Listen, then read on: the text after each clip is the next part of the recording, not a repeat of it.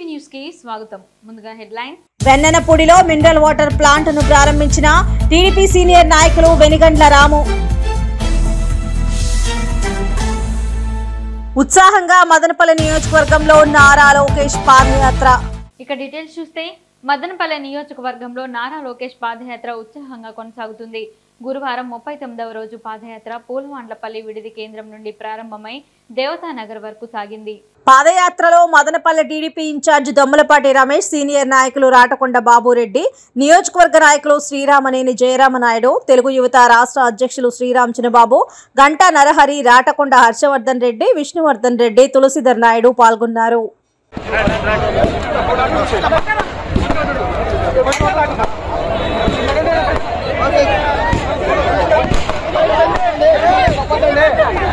దెబ్బేస్తారు. దెబ్బేస్తారు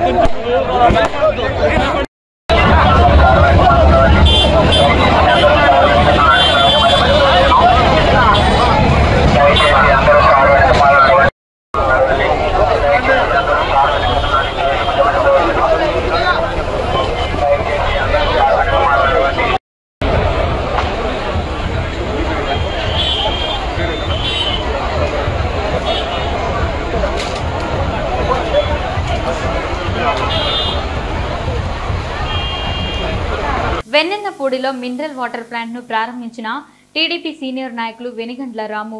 వెనిగండ్ల రాముకి టపాసులు తీన్మారు డప్పులు పూల వర్షం మధ్య స్వాగతం పలికిన నందివాడ మండలం వెన్నెన్నపూడి గ్రామస్తులు.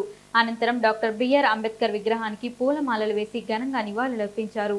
గ్రామస్తుల త్రాగునీటి అవసరాల కోసం వెనిగండ్ల ఫౌండేషన్ ద్వారా పన్నెండు లక్షల రూపాయలతో ఏర్పాటు చేయించిన బోర్ వాటర్ ప్లాంట్ని వెనిగండ్ల రాము ప్రారంభించారు. మినరల్ వాటర్ ప్లాంట్ ఏర్పాటు చేయడం పట్ల హర్షం వ్యక్తం చేసి టీడీపీ సీనియర్ నాయకులు వెనిగండ్ల రాము గారికి ధన్యవాదాలు తెలిపి గ్రామస్తులు సన్మానించారు. ఈ కార్యక్రమంలో తెలుగు రైతు రాష్ట్ర కార్యదర్శి చల్లగొండ సుబ్రహ్మణ్యేశ్వరరావు టీఎన్ఎస్ఎఫ్ నాయకులు సత్యసాయి వెన్నెనపూడి గ్రామ సర్పంచ్ అరవ మోహన్ శశి ప్రవీణ్ కుమార్ తుమ్మలపల్లి సర్పంచ్ రాధాకృష్ణ శంకరంపాడు సర్పంచ్ సుబ్బారావు రామాపురం మాజీ సర్పంచ్ యేసుపదం టీడీపీ నాయకులు సూరపనేని సురేష్ సూరపనేని వెంకటేశ్వరరావు తదితరులు పాల్గొన్నారు.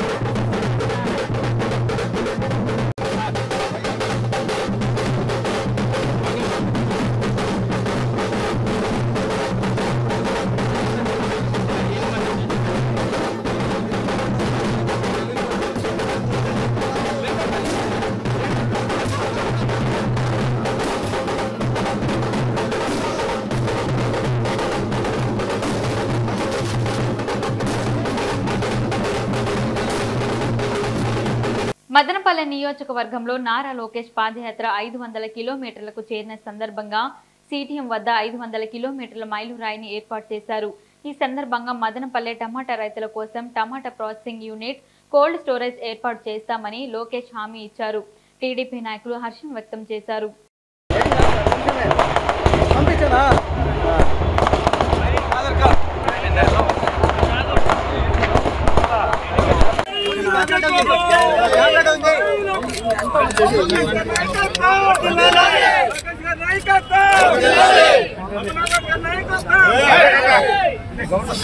చేతులు మీరు తప్పు రాశారు. కెమెరా డౌన్ చేయి. మీరే వెంటనే రాశారు? మేము అందరూ వచ్చారు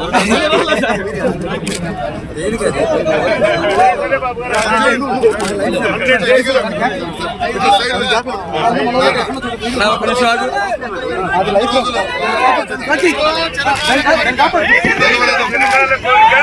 వంద రోజుల్లో గవర్నమెంట్ వచ్చిన గెలిపించలే కదా మమ్మల్ని?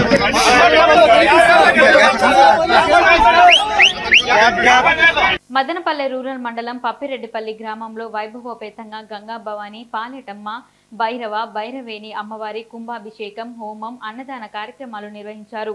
దశాబ్దాల చరిత్ర కలిగిన భైరవ భైరవేణి ఆలయం పునర్నిర్మాణం గంగా భవాని పాలెటమ్మ విగ్రహ ప్రతిష్ఠ జరిగి పన్నెండు సంవత్సరాలు అయిన సందర్భంగా ఆలయ కమిటీ ఆధ్వర్యంలో ఘనంగా పూజలు నిర్వహించారు. ఆలయ పునర్నిర్మాణ సమయంలో మహిళలని కమిటీ సభ్యులుగా ఎన్నుకొని ఆనాటి నుండి ఈనాటి వరకు మహిళా కమిటీ సభ్యులతోనే ఆలయ అభివృద్ధి చేపట్టినట్లు కమిటీ సభ్యులు గ్రామస్తులు వెల్లడించారు.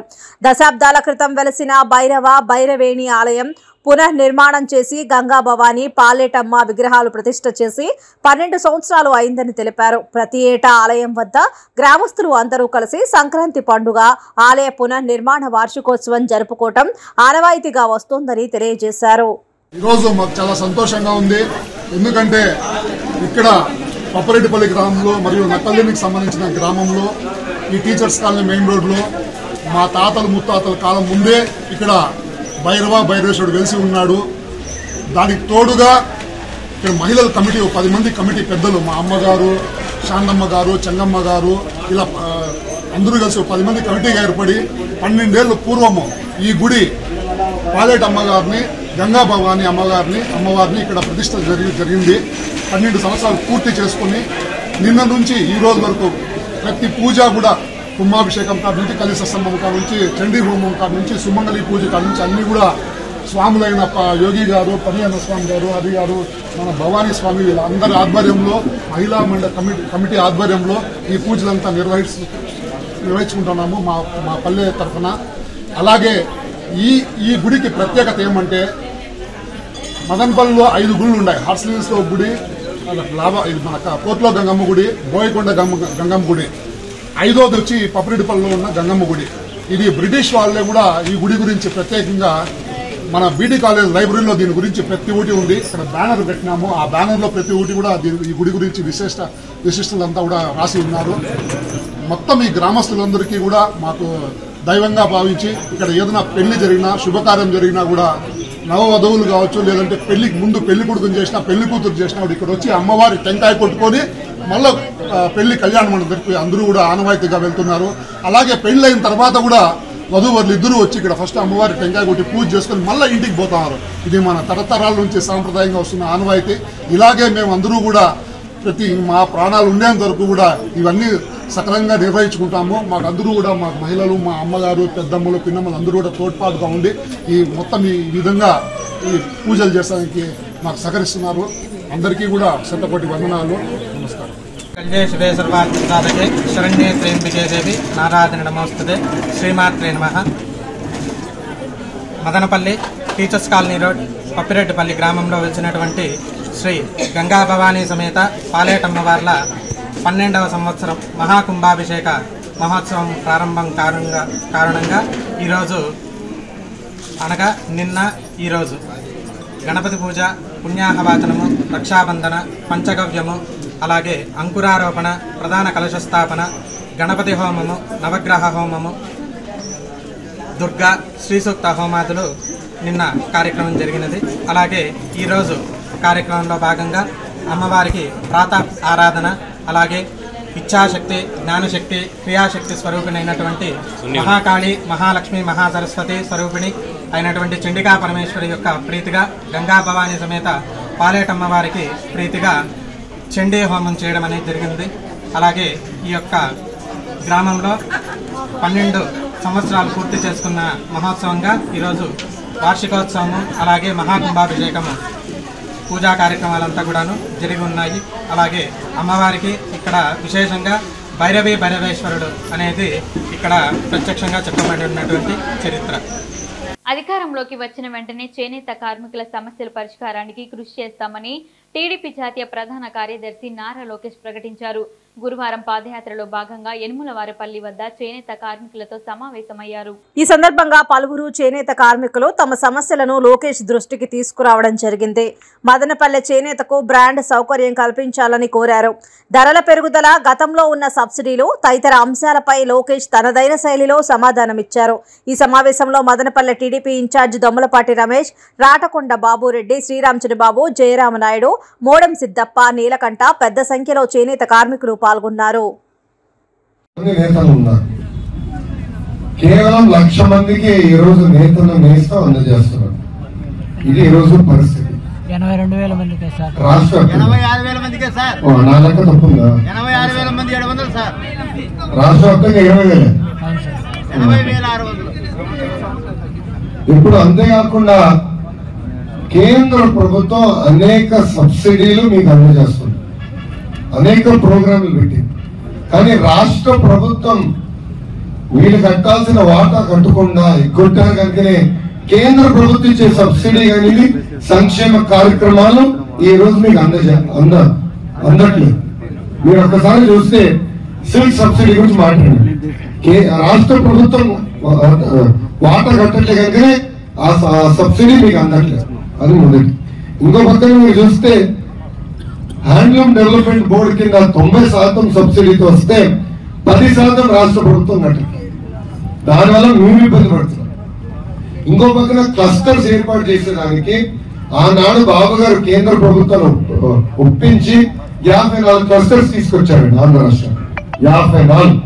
మదన్పల్లిలో కూడా క్లస్టర్కి భూములు కూడా ఆనాడు కేటాయించడం రెడీగా ఉండే. కానీ ఇప్పుడు ఏమైందండి?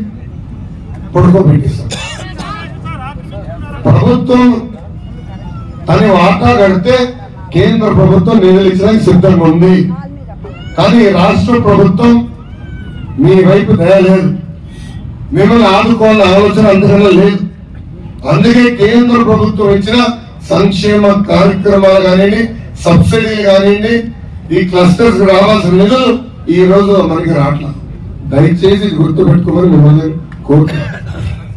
తెలుగుదేశం పార్టీ అధికారంలోకి వచ్చిన వెంటనే పాత సంక్షేమ కార్యక్రమాలు పునర్నిర్మాణం చేసి టర్మ్స్ అండ్ కండిషన్స్ లేకుండా నేతల్ని ఆదుకునే బాధ్యత ఈ లోకేషన్ తీసుకుంటారు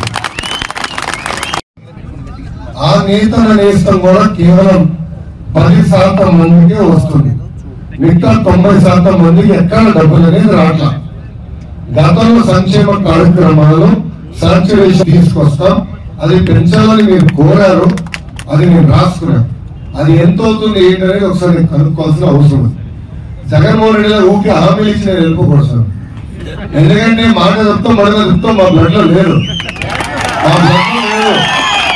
చెప్పింది చేస్తాం చేయకుండా చేయమంటాం మీరు అందరూ ఒకసారి ఆలోచించండి. ఆనాడు మేనిఫెస్టోలో లేని కూడా చేశాం చంద్రన బీమా మేనిఫెస్టో లేదమ్మా చేశాం అన్నా క్యాంటీన్ మేనిఫెస్టోలో లేదు చేశాం ఇంకో పక్కన పండుగలు కానుకలు మేనిఫెస్టోలో చేశాం బాబు గారు ముఖ్యమంత్రి ఉన్నప్పుడు దాదాపు నూట ముప్పై ప్లస్ సంక్షేమ కార్యక్రమాలు జరిగింది దాంట్లో ఇప్పుడు ఏకంగా వంద సంక్షేమ కార్యక్రమాలు కట్ చేసిన వ్యక్తి కటింగ్ మాస్టర్ జగన్మోహన్ రెడ్డి. ఆయన పేరు పెట్టిన. Cutting and fitting master. Cutting and fitting master. ఎందుకంటే వంద సంక్షేమ కార్యక్రమాలు ఆదాయం పెరగాలంటే ప్రభుత్వం గతంలో ఇచ్చే ఇన్పుట్ సబ్సిడీ అంటే కలర్ కానివ్వండి మన పట్టు కానివ్వండి ఇవన్నీ మేము ఇన్పుట్ సబ్సిడీ ఇచ్చాము. తద్వారా మీకు పెట్టుబడి తగ్గాలి. ఆ పెట్టుబడి తగ్గండి మార్కెట్లో మనం ఎంత బ్రాండ్ పెట్టినా మనం పోరాడాలి. సో ఆ పెట్టుబడి గతంలో ఎట్లయితే చేశామో అదే విధంగా పెట్టుబడి తీసుకొచ్చి మీకు చేనేతలకి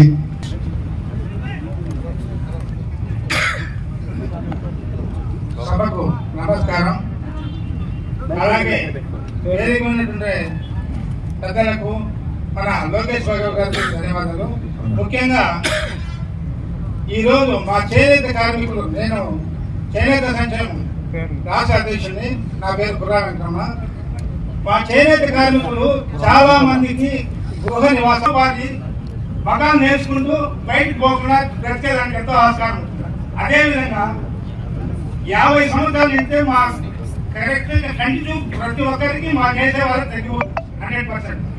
అలాంటి వాళ్ళకు యాభై సంవత్సరాల తర్వాత ఖచ్చితంగా మన పింఛన్ అనేది ఖచ్చితంగా ఇవ్వాలని కోరుకుంటున్నాం.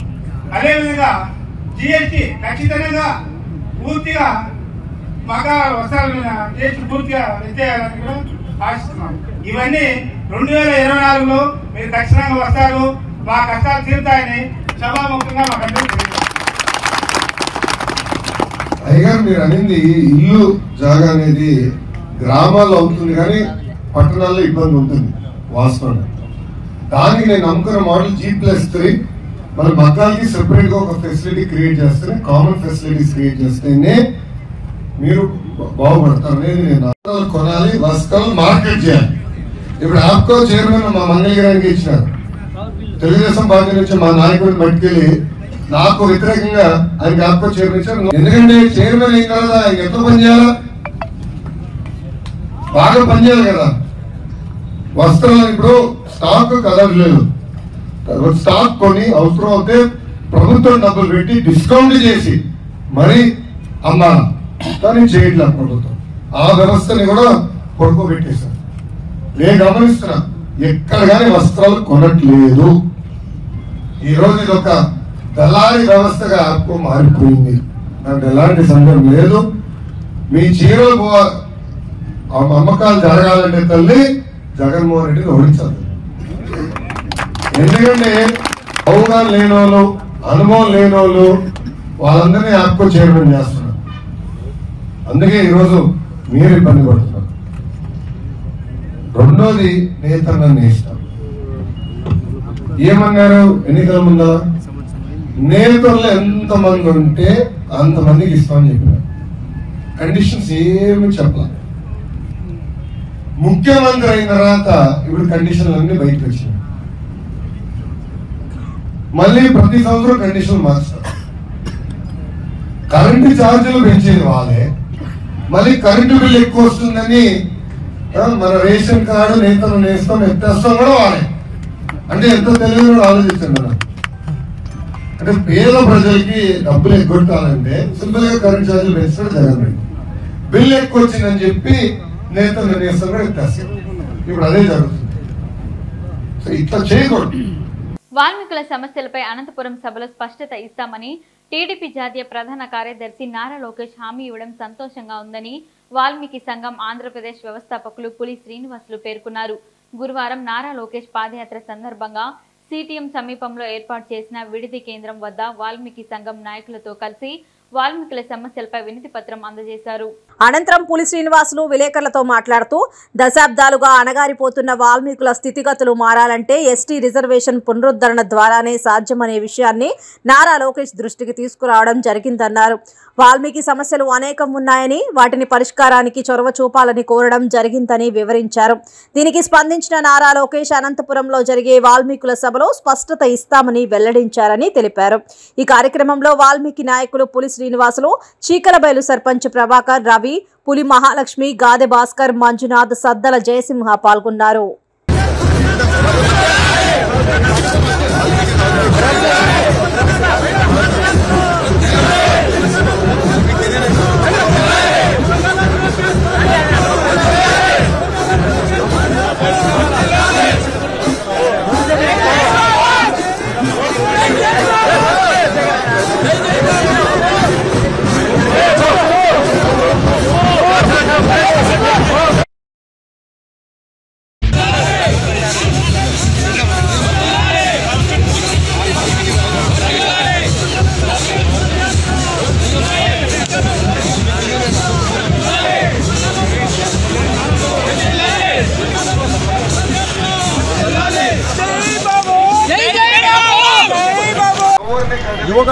పాదయాత్ర సందర్భంగా మదనపల్లి నియోజకవర్గానికి విచ్చేసినటువంటి తెలుగుదేశం పార్టీ ప్రధాన కార్యదర్శి నారా లోకేష్ గారికి వాల్మీకులందరి తరఫున ఘన స్వాగతం పలికాము.